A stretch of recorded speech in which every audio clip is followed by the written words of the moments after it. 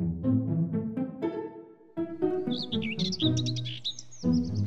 am Muslim. Imam Hussein and his family were thirsty on the day of Ashura.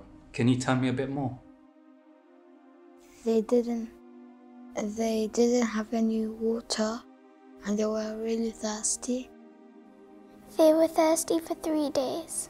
Um, they were Yazid's army blocked Imam Hussein's camp from From get from River Farat, and they weren't allowed to get go get any more water. Imam Hussein got killed, but he wanted water. because the the bad um, Yazid's army blocked off the water supply for them.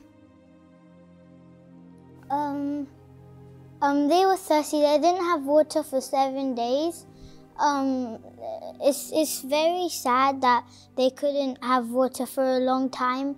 And also, baby Ali Asghar, he was like a six month old baby, but he still um went to he, he still wanted to go and fight um for for um Islam, and he got he got shot in the chest.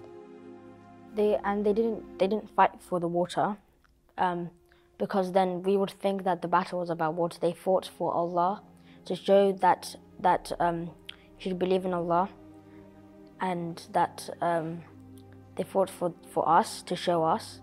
They didn't just fight for the water. Even though they were really thirsty even baby ali Asghar died from thirst.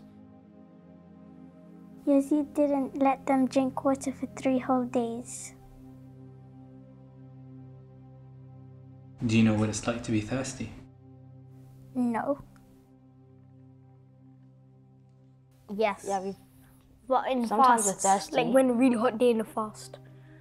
but we It's but it's really hard to stay like thirsty for that long Yeah, and in the extremely hot plains of Karbala.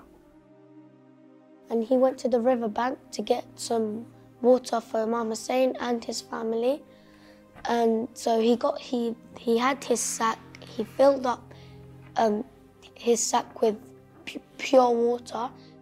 And one of the moms um, went to get water, and um, um, bad people were. Hazrat Abbas. Hazrat Abbas was um, getting water, Yazid was saying to one of his soldiers or his um, or his commander that um, we cannot let um, Hazrat Abbas go and give water to Imam Hussein and uh, and um, the bad people were um, cutting their arms off, and then he would hold it with his neck, and then and then they cut his head off, and then he died.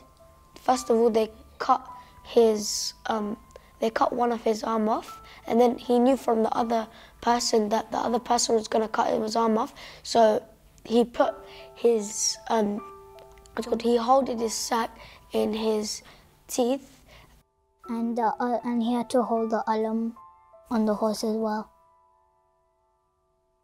And he dropped the water, then he couldn't go, go back and give it to them. um, unfortunately they succeeded and cut his other arm off and then still but Abu Fazl d- d- didn't he was a strong man a really strong man and he was still walking until they got his arrow and went through his chest and then went through his chest and then yeah. Yeah, so and then he fell off the horse, and then the ladies in the tent um um like started to know what happened, and and so then they start crying, and then Imam Hussein came, and yeah,